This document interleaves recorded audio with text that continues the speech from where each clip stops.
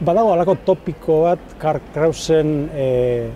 nolait evokazio kapazidade horri buruz, ez da nolait bere, bere ikuspegi profetiko edo aurrik usteko kapazidade horri buruz badago alako topiko bat, ez? Karl Krausek nolait etortzeko zena nolait marrastu zuela. No, claro, e, gai historikoki haundietan e, zatu da, esplikatu da beti, zera hori ez, e,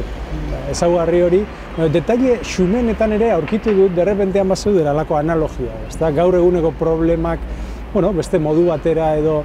e, deskribatzen dira eta desarrollatzen dira, baina azkenean mamia berdina dela. Eta dela alegia, e, eta hori da, behintzat nire interesa pertsonala da, nire mania, igual esan dezakegu, eta da, e, hizkuntza periodistikoak kasu honetan, baina orokorrean kulturaren hizkuntzak e, konbentzioan nolabait zeratzen baldin bada, e, finkotzen baldin bada edo kristaltzen baldin bada, gai izango tegera berria denaren berri emateko, berria dena deskribatzeko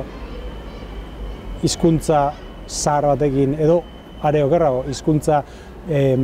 topiko eginiko batekin, ezta? Eta nik hori oraindik ere badela problema eta badela problema gainera non eta kazetaritzaren